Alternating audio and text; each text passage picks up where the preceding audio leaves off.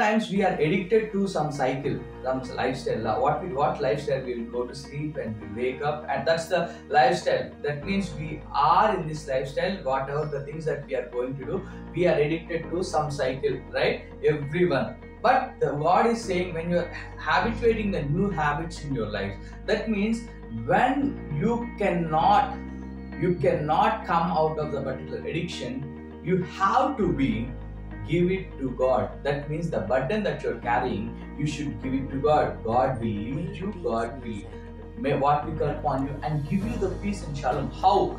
When you give this burden to God, that means you are not doing yourself. You are not doing it on yourself own. You are just giving that burden to God. Lord, I cannot, but you can.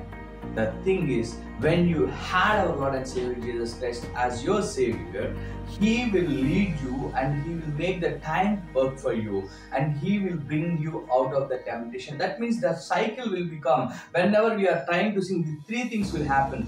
We will have a temptation. How we will have a temptation? We'll just click on the link. That link will go into the pornography, right? So when we'll click on the link, that means our thoughts will automatically go, go and we cannot, we will give up. Lord, I cannot we'll just watch it and we'll feel guilty and shame. Lord why lord? Why lord? Lord why i cannot do it? And we'll go we'll go into guilty and we think that god is angry on us. But remember when you receive our lord and savior jesus christ he will give you the perfect peace shalom peace. When you give it to the burdens and the temptation lord i cannot but you can. Lord the thing is you the thing you had is is greater than everything. The thing is, when you have the Jesus Christ as your Savior, He will lead you, He will guide you, He will protect you, and He will bring you out of all the temptation with His right hand, and He will give you the shalom peace. God bless you. May His grace shine upon you.